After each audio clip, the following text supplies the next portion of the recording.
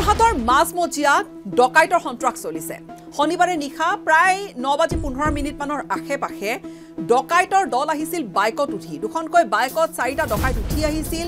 Number plate নাছিল সেই বাইককেইখনত আৰু আহিয়েই হাতত থকা ক্ৰিকেট বেটেৰে এগৰাকী ব্যৱসায়ীক টাৰ্গেট কৰি লৈছিল আৰু তাৰ পিছত সেই ব্যৱসায়ীগৰাকীৰ টকাৰ বেগটো কাঢ়ি নিছিল।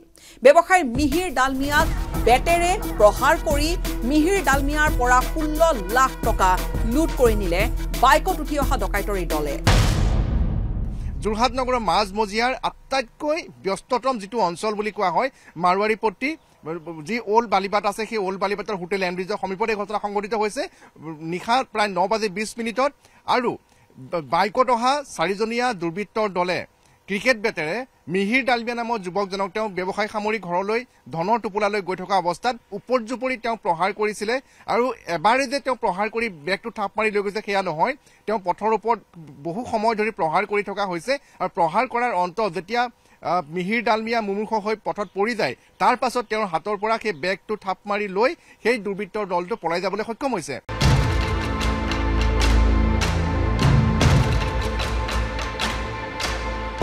আচলতে আৰক্ষীক একেবাৰেই যেন কেৰেপ নকৰা হৈছে ডকাইতে বা অপৰাধীয়ে। আৰু যোৰহাটত নিশা প্ৰায় ন বাজি পোন্ধৰ মিনিটত ঘটা এই ঘটনাটোৱে সকলোকে যেন পুনৰ আতংকিত কৰি তুলিছে। যে সুৰক্ষা ক'ত নাগৰিকৰ। দুখন মটৰচাইকেলত অহা চাৰিজন মানুহে বৰ বেয়াকৈ পিটি পেলাই তাৰ হাতত থকা কিবা বেগ বা ধনৰ টোপোলাটো লৈ সোধা হৈছে। মই তৎক্ষণাত গৈ জেগাত পালোঁ।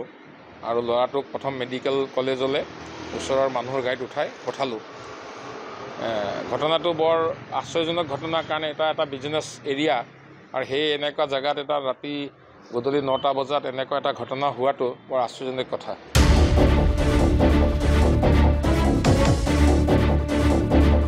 ব্যৱসায়িক প্ৰতিষ্ঠানৰ পৰা ঘৰমুৱা হোৱা এজন ব্যৱসায়ীক এই ধৰণে টাৰ্গেট কৰি লোৱা হৈছিল। তেওঁৰ লগত থকা ষোল্ল লাখ টকা কাঢ়ি নিছিল ডকাইতে। এই ঘটনাত মিহিৰ ডালমিয়া নামৰ ব্যৱসায়ীগৰাকী আহত হৈছে। তেওঁক ততাতৈয়াকৈ তেওঁক জে এম চি এইচত ভৰ্তি কৰোৱা হয়।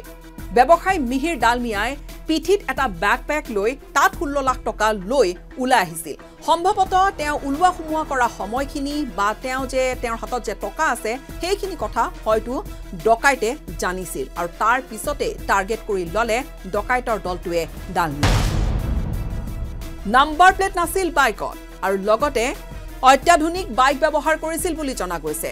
মূৰত ব্যৱহাৰ কৰা হেলমেট যিহেতু সম্পূৰ্ণৰূপে মুখ ঢাকি আহিছিল হেলমেট পৰিধান কৰি আহিছিল হেলমেটো আছিল অকণমান বেলেগ ধৰণৰ।